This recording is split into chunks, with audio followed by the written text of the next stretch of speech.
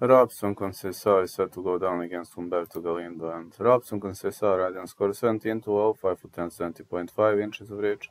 Out of Salvador Bahia, Brazil, this guy.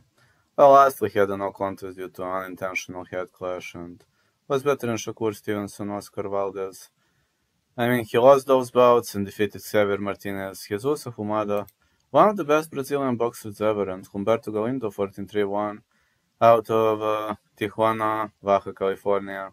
He lost to Raymond Muratalla, Artem Harutyunyan, and Brian uh, Zamaripa, but defeated uh, Darwin Galano, Gregorio Soto Molinero, and I'm uh, looking forward to it. This is going to be a great fight, and uh, I do have a feeling Conceição might get back into the winning contention, and uh, this eighth rounder gonna go over 6.5. I don't see him knocking out Galindo, but uh, yeah, I think Conceição via decision, but over 6.5 gonna be my call.